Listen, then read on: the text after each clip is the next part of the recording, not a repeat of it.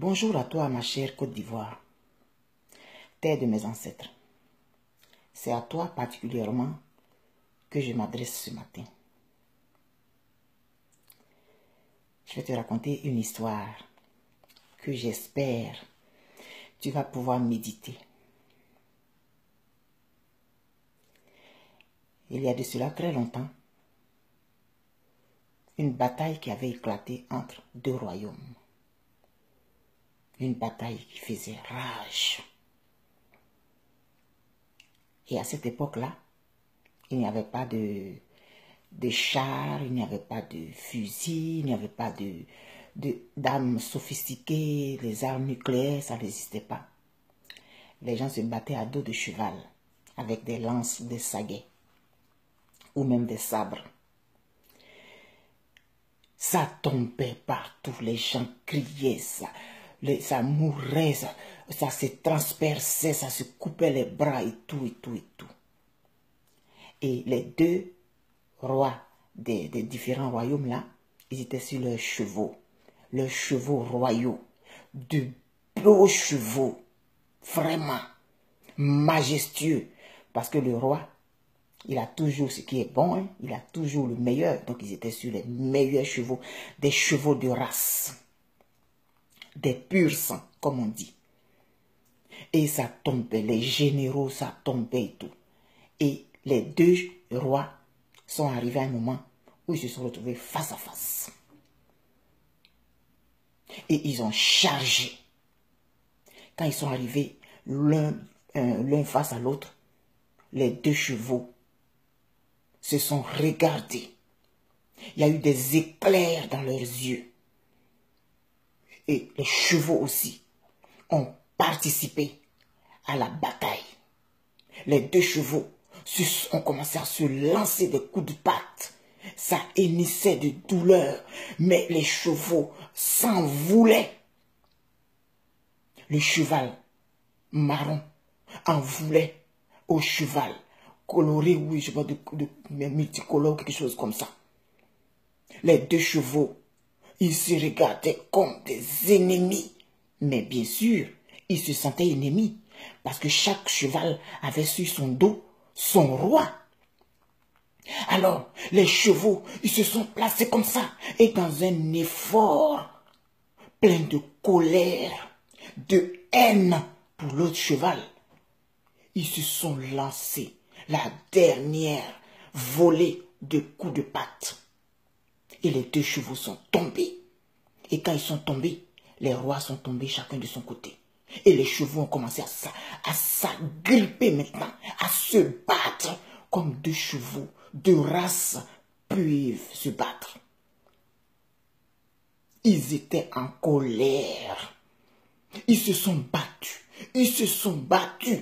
Et autour d'eux, les autres se battaient aussi. Les autour d'eux, les autres se battaient. La bataille, c'était vraiment une bataille. Ah non. Et les chevaux, ils se sont battus. Jusqu'à un moment donné, ils sont tombés tous les deux de fatigue. Ils étaient épuisés. Et ils n'en pouvaient plus. Ils avaient de la difficulté même à respirer. Tellement. Ils étaient fatigués. Mais ils avaient envie de continuer. Chacun avait envie d'en découdre avec son ennemi. Parce que il portait sur son dos l'ennemi. Et donc,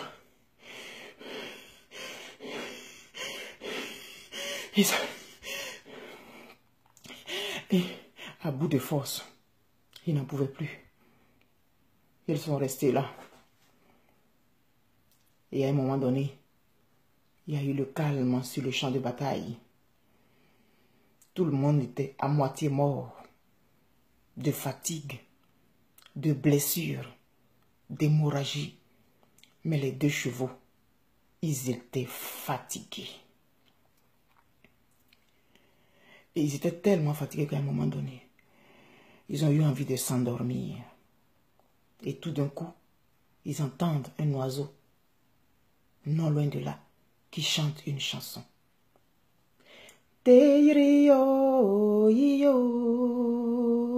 Teirio nkamuyi kilayi awani nyeiriyo yo nkache nkamunye iriyo nkamuyi kilayi yeke yeke womu womu wo yeke yeke opelego no yoku. Yeke yeke wobu wobu wo. Yeke yeke opelego no yoku. Awani teiriyo yo teiriyo nkamuyi kilayi awani nyeiriyo yo nkache kamunye iriyo nkamuyi kilayi et l'oiseau s'est envolé il est parti. Mais ce que je ne vous ai pas dit, dès les premières notes de la chanson, le cheval marron a chanté avec l'oiseau. Et l'autre cheval qui était en face de lui, multicolore, a aussi chanté en même temps que l'oiseau. Et les deux chevaux se sont regardés. Et ils ont chanté ensemble la chanson. Ils n'en revenaient pas. Ils ne croyaient pas ce qu'ils entendaient. Chacun était surpris de voir que l'autre connaissait cette chanson. Et pourtant, c'était une chanson lointaine, une chanson de son enfance. Avant de se poser des questions, ils ont rechanté ensemble la chanson. Teirio, yo, teirio, nkamuyi kilayi, awani nyeiriyo, yo, nkache kamunye iriyo, nkamuyi kilayi, yeke yeke, wobu wobu wo, yeke yeke opelego no yoku, yeke yeke, wobu wobu wo, yeke yeke opelego no yoku, awani teiriyo, yo, teiriyo, nkamuyi kilayi, awani nyeiriyo, yo, nkanche kamunye iriyo, nkamuyi kilayi, nkamuyi kilayi. Et l'un essaie de se lever et il aide l'autre à se lever.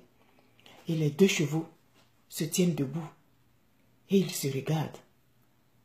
Et l'un dit, c'est toi Calo Il dit, oui, c'est moi Calo. Et Calo demande à l'autre, c'est toi Cassie? Oui, c'est moi Cassie. Et les deux chevaux se mettent à pleurer à pleurer avec leur âme, à pleurer de toutes leurs forces. Mais je vois, je te reconnais maintenant. En fait, les deux chevaux, ils sont nés dans la même étable. Il y avait de cela des années, des dizaines d'années.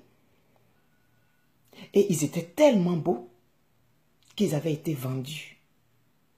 Chaque royaume avait acheté l'un des chevaux. Ils étaient encore des poulains, ils étaient encore tout petits quand on les a séparés. Mais quand ils étaient enfants, ils jouaient ensemble. Et le jour où on est venu acheter Calo, avant de partir, les deux ont chanté cette chanson. Cette chanson, c'est un Néo de Côte d'Ivoire, Sassandra. La première partie de la chanson est en Néo et la deuxième partie de la chanson est en Gaudier. La chanson dit Donne-moi une date pour ton retour. Est-ce que je vais te revoir un jour, mon bien-aimé? Tu t'en vas. Tu t'en vas avec mon cœur. Mon cœur va te suivre.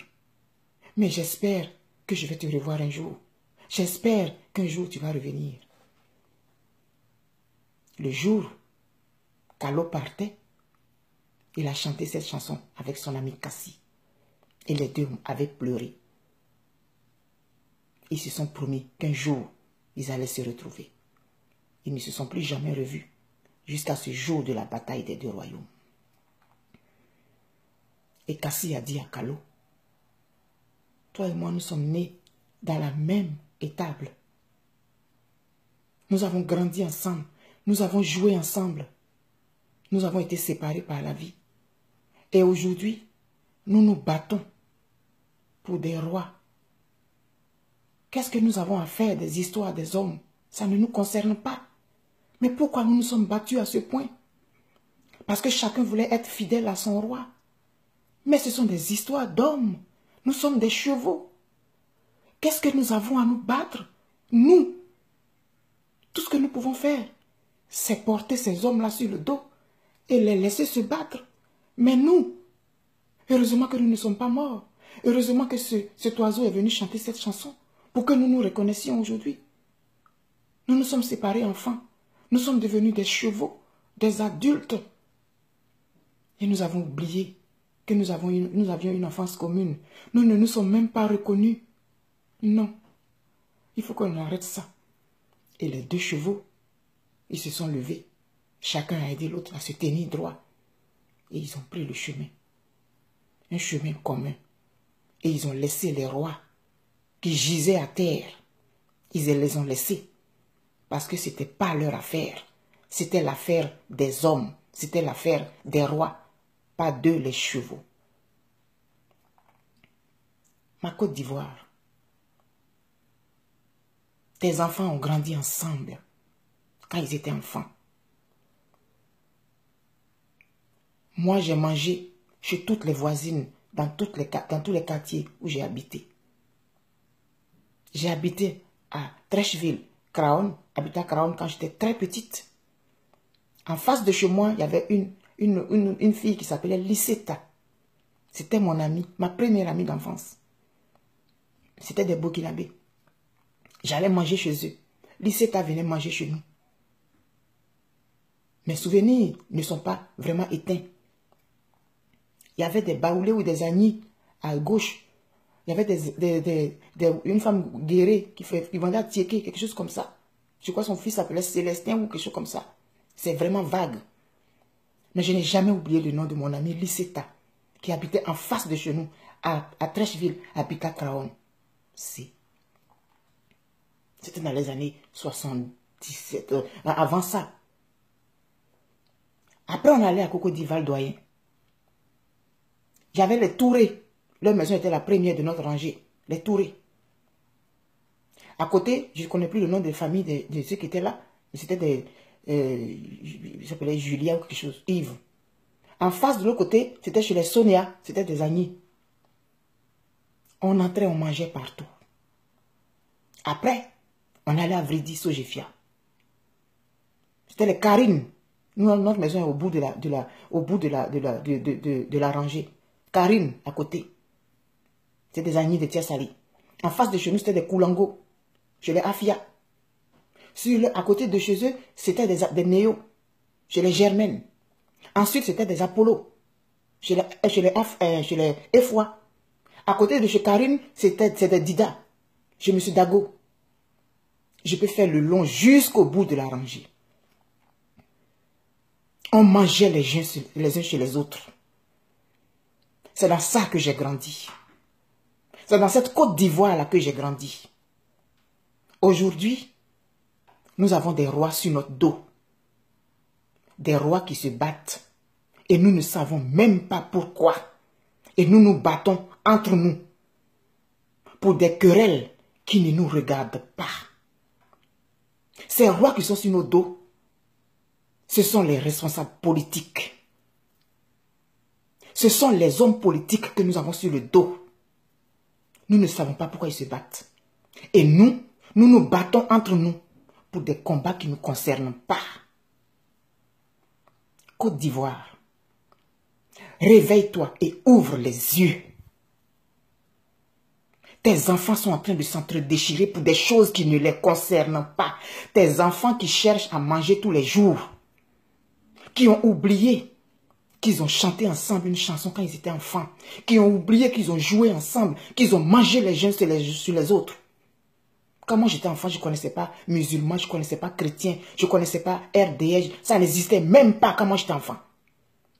Je ne connaissais pas FPI, je ne connaissais pas tout ça. J'allais manger chez la maman de Germaine. Elle vendait des tartines.